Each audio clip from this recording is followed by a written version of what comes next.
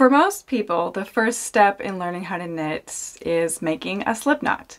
You make a little knot, you put it on the needle, and then you cast on your stitches. But turns out the slip knot isn't completely necessary.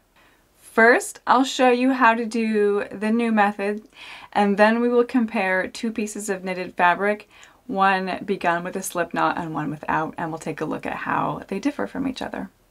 In order to start this way, you still need the same length of tail that you would for any regular long tail cast on. But instead of making the slip knot, you're just going to insert your thumb and index finger under the yarn like this, spread it apart, take your needle, and simply put it through the top, swing it around, and come back up. I'll do that again. The needle goes on top of the yarn and then under towards your thumb and back up so that it's twisted like this.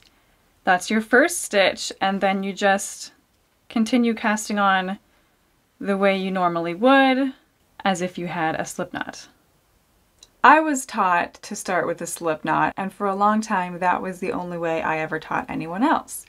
But recently I was teaching an eight-year-old how to knit and she was kind of struggling with the slip knot. So I said, you know what? There's another way. Let's give it a try and see if you like it any better. And she did. And then I started teaching her brother also who is seven and he was struggling with this method. So I said, hey, let's try a slip knot.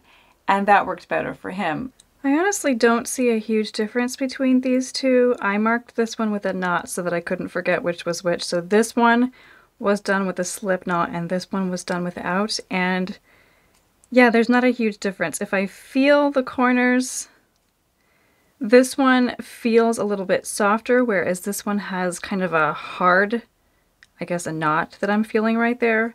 But to the naked eye, it's not a big difference. I guess the only real difference that I can see is that this one has a sharper corner and this one is more rounded.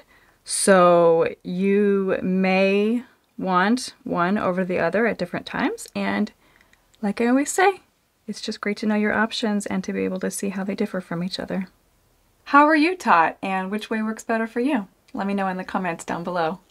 If you're just trying to get started learning how to knit, but you feel like you need a little bit more direction, I have a whole online course that is just for you, my friend. You can learn more about it on my website, so head over to beccajnorman.com slash courses and you can read all about it.